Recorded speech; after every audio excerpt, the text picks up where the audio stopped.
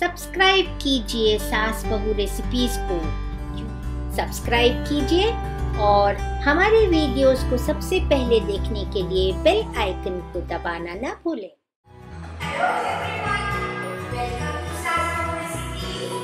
आज हम बनाएँगे नींबू का अचार जो बहुत हेल्दी और टेस्टी है। इसमें हम तेल बिल्कुल भी नहीं डालेंगे।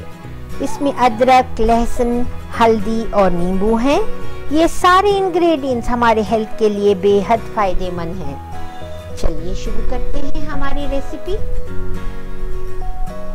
नींबू का अचार बनाने के लिए हमने लिया है आठ नींबू पंद्रह लहसुन की कलियाँ, एक टेबलस्पून हल्दी, तीन टेबलस्पून अदरक, दो टेबलस्पून नमक, एक कप नींबू का रस।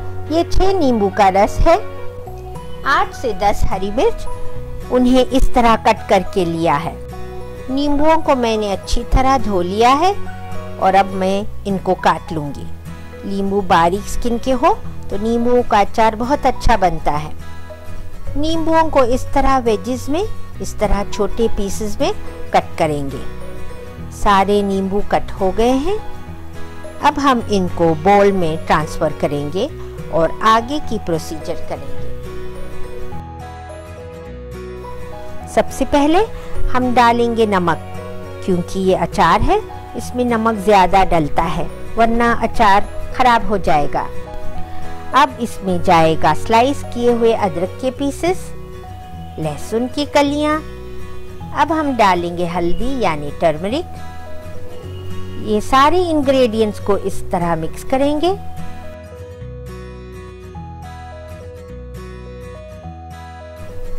अब हम डालेंगे ग्रीन चिलीज और फिर से टॉस करेंगे।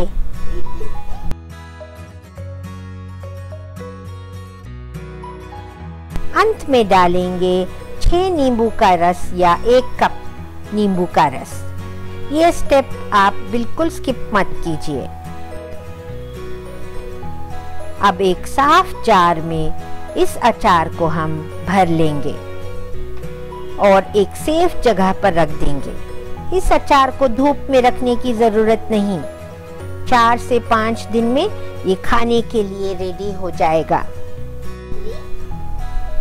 आप इस हेल्दी और सिंपल रेसिपी को ज़रूर बनाइए और इस रेसिपी को सभी के साथ शेयर कीजिए। आप हमारे चैनल